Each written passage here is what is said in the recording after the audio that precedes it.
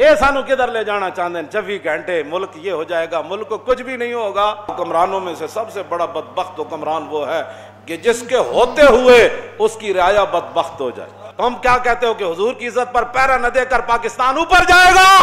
तुम भी सुन लो पूरी दुनिया सुन ले। ऊपर एक, एक ही सूरत में बंदा जा सकता है कि मोहम्मद से वफा तू ने